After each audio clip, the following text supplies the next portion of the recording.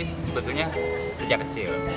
Lebih ke bukan obsesi sih kebutuhan karena waktu itu untuk untuk bisa berkomunikasi dengan orang lain di luar saya. Beberapa saat lalu, Aan Mansur yang memiliki nama akun Twitter huruf kecil menyempatkan diri berbagi dan sharing ilmu bersama komunitas Pare-Pare Menulis dan Bumi Lestari dalam kegiatan Sabda Alam di Kebun Raya Jompie Pare-Pare. Terlibatnya Aan Mansur dalam proses kreatif penulisan puisi-puisi untuk film Indonesia fenomenal Ada Apa Dengan Cinta Dua menjadi angin segar di dunia sastra Indonesia.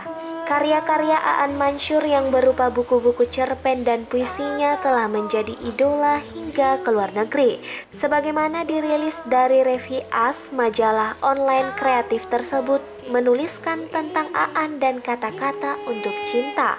Beberapa karya Aan di antaranya berjudul Melihat Api Bekerja, Kukila, Kepalaku, Kantor Paling Sibuk di Dunia, Perempuan, rumah kenangan dan lelaki terakhir yang menangis di bumi, Aan pun menuai pujian dan penghargaan atas kepiawaiannya bertutur dengan indah.